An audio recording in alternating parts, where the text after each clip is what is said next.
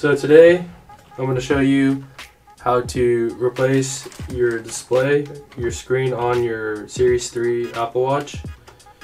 First you want to begin with collecting some tools. I have a slim pry tool, it's just a feeler gauge to get underneath the screen and kind of break the adhesive on the screen to pry it open. And I have a pair of tweezers. These tweezers will be used to remove some tape on the back of the screen.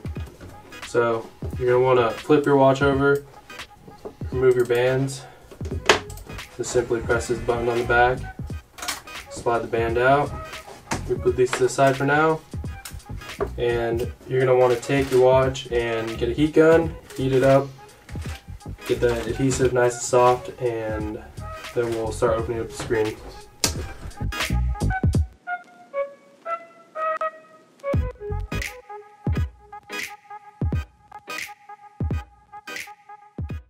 So with the Series 3, the ribbons are on the top here. So we're to enter either on the sides or the bottom. I like to enter on the side opposite of like the crown and the buttons.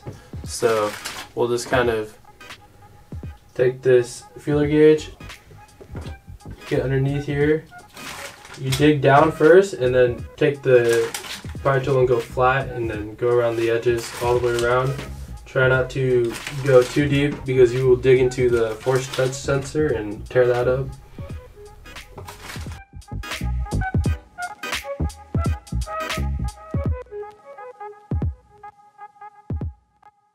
Alright, now that we got the adhesive free, we can take the screen off here. We'll fold it back like that. And we got our tape that covers the connectors here. We'll take some tweezers and pull it off real quick.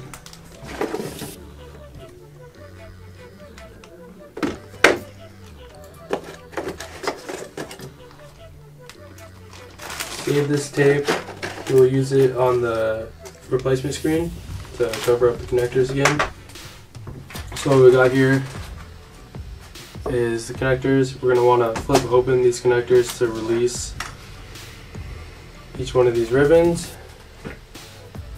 Pop them open.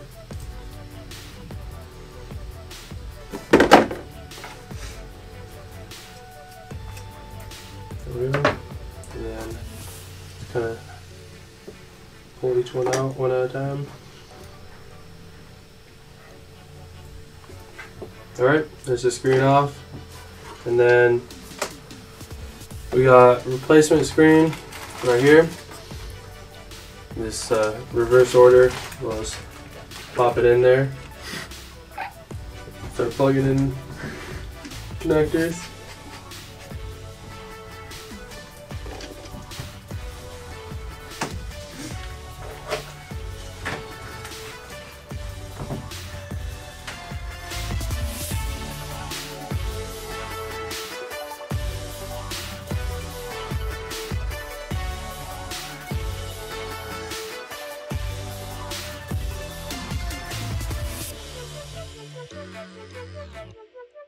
Alright, so after you got all the connectors in, you're just going to close up all these clamps here so the connectors don't come come out.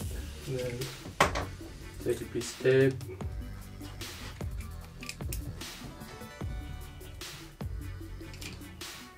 You'll simply want to cover up all your connectors again.